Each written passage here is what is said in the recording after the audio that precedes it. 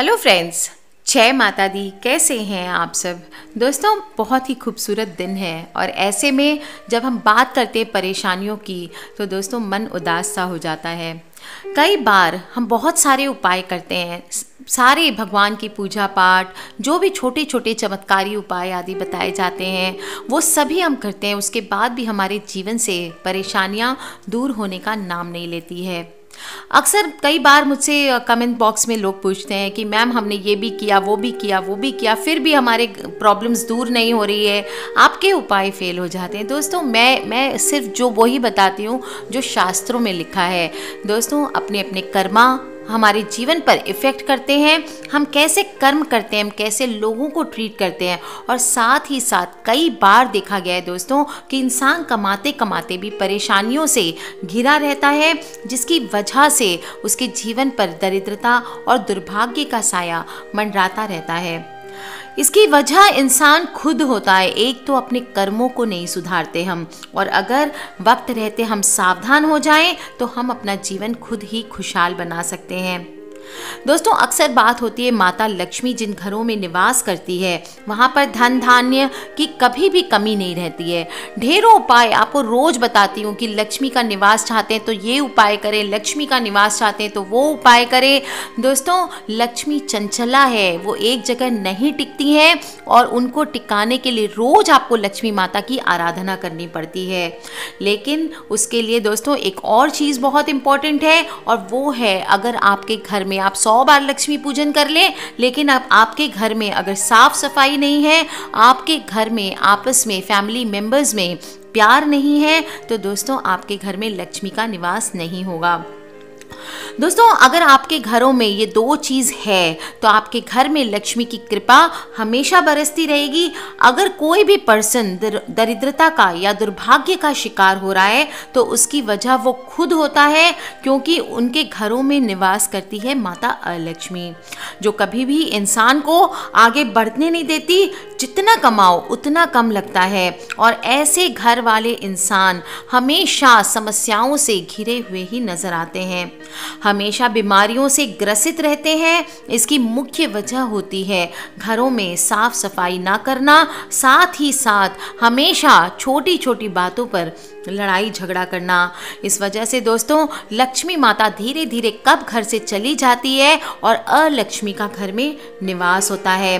तो दोस्तों, आज मैं आपको बता दूँ कि माता लक्ष्मी की पूजा से घर में सुख, समृद्धि और धन की वर्षा जहाँ होती है, वहीं पर अगर आप घर में प्यार अपना बना के रखेंगे, अगर अपने घर में साफ़ सफ़ाई का निवास रखेंगे तो दोस्तों कभी भी आपके घर में माता अलक्ष्मी का प्रवेश नहीं होगा। आज मैं आपको बता दूँ, ये अलक्ष्मी है कौन? बहुत सारे लोगों को ये लग रहा होगा ये अलक्ष्मी क्या है। आज तक तो हमने लक्ष्मी माता सुनी है। पर दोस्तों, लक्ष्मी माता की बड़ी बहन होती है, जिनका नाम अलक्ष्मी देवी है। अलक्ष्मी देवी को देवी ज्येष्ठा भी कहा जाता है।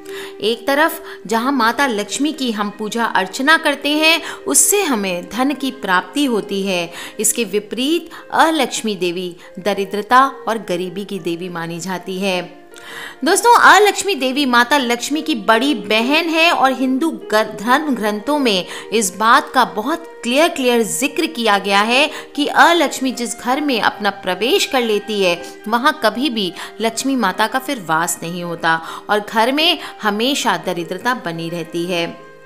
दोस्तों, अगर हिंदू मान्यताओं की माने तो पद्म पुराण में अलक्ष्मी देवी के बारे में बताया गया है कि देवताओं और राक्षसों के बीच में जब अमृत के लिए समुद्र मंथन हुआ था, उसी समुद्र मंथन में अलक्ष्मी देवी उत्पन्न हुई थी। लक्ष्मी देवी का वाहन उल्लू माना जाता है, जबकि अलक्ष्मी देवी का वाहन कौआ होता है।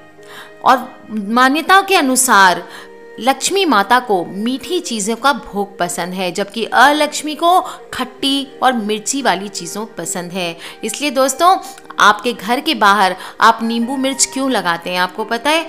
क्योंकि अलक्ष्मी को खट्टी और मिर्ची वाली चीज़ें पसंद हैं और घर के द्वार से वो उसे खा करके उस घर से दूर चली जाती है।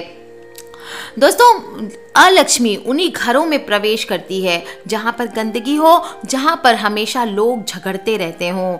माता लक्ष्मी की पूजा अर्चना अगर आप करते भी हैं तो दोस्तों माता लक्ष्मी वहाँ ठहरती नहीं है और अलक्ष्मी देवी की पूजा न करने से भी गरीब, दरिद्रता और गरीबी वहाँ पर प्रवेश कर जाती है।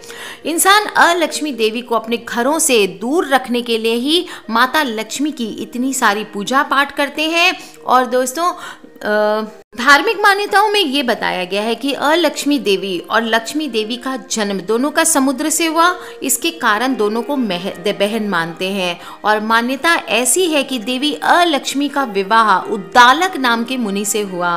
और जब मुनि देवी अलक्ष्मी को लेकर अपने आश्रम में आए तो वहाँ अलक्ष्मी देवी ने आश्रम में प्रवेश नहीं किया। मुनि ने जब इसकी वजह पूछी तो अलक्ष्मी देवी ने कहा था कि आश्रम बहुत ही साफ़ सुथरा है और वो केवल ऐसे ही घर में रह सकती है जहाँ पर गंदगी हो, हमेशा लड़ाई झगड़े हों। दोस्तों, ज्येष्ठा देवी यानी अलक्ष्मी देवी अशुभ घटनाओं, गरीबी, दुख, कुरूपता की देवी है। इनका किसी भी घर में वास उस घर के सर्वनाश की वजह बनता है, इसलिए लोग उनकी पूजा अपने घर से दूर रखने के लिए करते हैं। आज मैं आपको बताऊँगी दोस्तों कुछ ऐसे उपाय जिनको आप करके अलक्ष्मी को हमेशा के लिए आप अपने घर से दूर रख सकते हैं। सबसे पहला उपाय तो अगर आप अपनी ऑफ़िस में दरिद्रता दूर करना चाहते हैं या कोई आपकी दुकान है, कोई भी कार्य क्षेत्र है, वहाँ पर रोज़ सुबह मोर पंख से अगर आप झाड़ा करते हैं तो माता अलक्ष्मी दूर हो जाती है। दोस्तों, घर या दुकान से अलक्ष्मी को दूर करने के लिए एक नींबू और सात मिर्च को मौली से बाँध करके अपने मुख्य द्वार पर हमेशा टांग करके रखें। इससे माना जाता है माता अलक्ष्मी द्वार से ही भोजन करके वापस चली जाती है। दोस्तों, पुराना कोई भी जूता हो, उसे ले करके आप अपने घर की छत पर टांग सकते हैं। ऐसा करने से आपके घर पर किसी भी तरह की अगर नकारात्मक ऊर्जा होगी तो उससे आप गलत ऊर्जाओं से बचे रहते हैं। दोस्तों, एक काली हांडी लेकर के उस पर आप सिंदूर की सहायता से एक राक्षस का चित्र बना लें। और इस हांडी को कुछ इस तरह से लगा दें ताकि मुख्य द्वार पर वो दिखाई दे।